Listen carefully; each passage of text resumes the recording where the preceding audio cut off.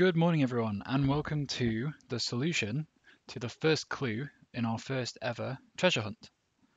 So I've pulled up the page on the treasure hunt website, and this is what you're presented with. So pretty much all treasure hunt clues present you with a paragraph of text and some sort of muddled combination of either letters or numbers.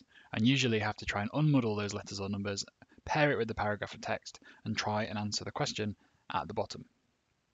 So the first clue says, everyone thinks my mate Dave is perfetto, but the truth is he's missing something. Scrambled letters, what is Dave missing? So there are a few things just looking at the text in this clue that are interesting. So it's written in a kind of informal English way, but there's deliberately an Italian word dropped in there. So as a starting point, just checking what the hell perfetto means. Okay, so it means perfect in Italian interesting should provide you with some clues. So as a starting point, we're already starting to think, okay, we've got the word Dave, we've got some reference to Italy and, and kind of perfection and something being missing. Okay. Now, anytime you see scrambled letters like this, the most common way of unscrambling them is to use something called a Caesar cipher. And what a Caesar cipher does is it just pairs each letter in the alphabet to a letter a number of letters previously or after it. So for example, A might become C, B might become D, or A could become Z, B could become A. So you're just shifting all of the letters along a little bit. And that's kind of the most common way of um, encoding letters. So um, I took the liberty of pasting this into a Caesar cipher solver, which I just found on Google. Um, and there, there are kinds of um, websites that decrypt basically any type of cipher like this. So you can normally play around and find um, different types of cipher that you might want to try. Um, and the classic Caesar cipher, I think, is seven letters, but um, this site lets you scroll really quickly through all the different variations.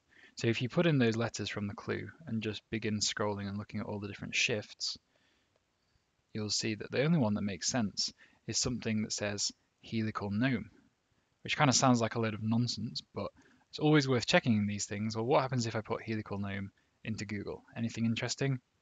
Not really. There's some reference to a crossword clue which doesn't lead you anywhere. I had a look at that earlier. Um, and, you know, it's mostly just garbage. So, okay, we know that um, this must be significant. It's the only real two-word phrase that we've got from our scrambled letters. So what might we, what might we do with it?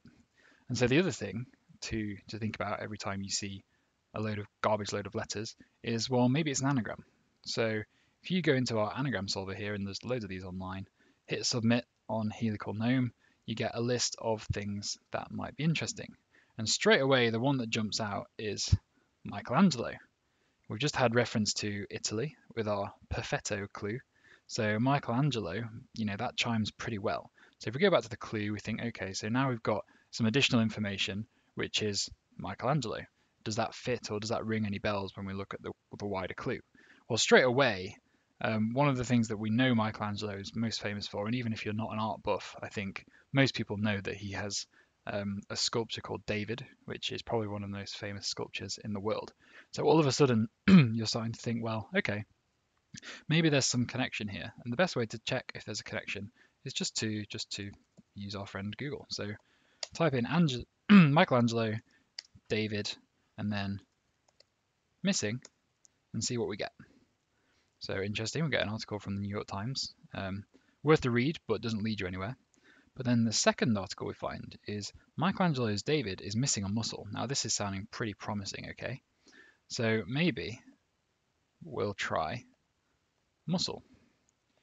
But we know this clue is supposed to be two words, so this is not going to work. But just to see what happens, so we'll try muscle. No, afraid not. Error. So we'll go back. Okay, let's get some more detail from this article. So if you're lazy like me, you can just search through all the versions of muscle in the article. And the one that's interesting is this one here. The artist achieved an absolute perfection except for that muscle in the back. So what it transpires is that Michelangelo's David, because of the block of marble that it was carved out of, is missing a back muscle.